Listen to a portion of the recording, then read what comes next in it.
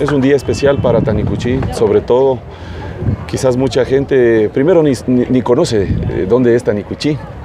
Eh, sin embargo, tenemos, como el día de hoy eh, lo hemos evidenciado, héroes en Tanicuchí. Eh, en este caso el señor capitán del ejército Diego Icaza Mejía del barrio Lazo, el señor sargento de policía Arturo Mena del barrio Centro de Tanicuchí y el compañero cabo segundo de policía eh, William Llano del barrio Cajón Veracruz, quienes en su debido momento ofrendaron su vida en un gesto heroico en actos de servicio. El día de hoy ha sido importante el igual reconocer la actividad que ellos tuvieron en vida por la institución policial y por la, por la comunidad, por la sociedad.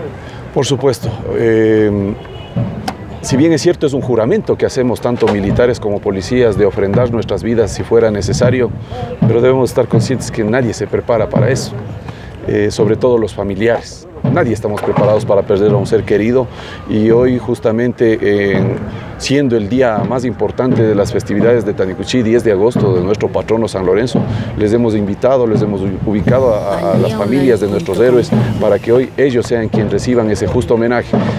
Eh, dicen que en vida se debería hacer las cosas, pero en este caso eh, que los familiares sientan la presencia de sus hijos, de sus esposos, que ahora seguramente estarán dando seguridad en el cielo y que estas tradiciones sobre todo despierten ese civismo que necesita nuestra niñez y juventud para que rescatemos esos valores que tanta falta nos están haciendo en estos momentos. Tanicuchi es un ícono para la, para la historia de la Policía Nacional. Por supuesto. Eh, aquí en Tanicuchí nació y vivió hasta los 15 años mi general Alberto Enríquez Gallo, quien fue el fundador prácticamente, el que profesionalizó a la Policía Nacional en el Ecuador cuando tuvo la oportunidad de ser el presidente de la República. Esto deja las claras de que en esta tierra hay gente pegada a la policía, amante de esta carrera.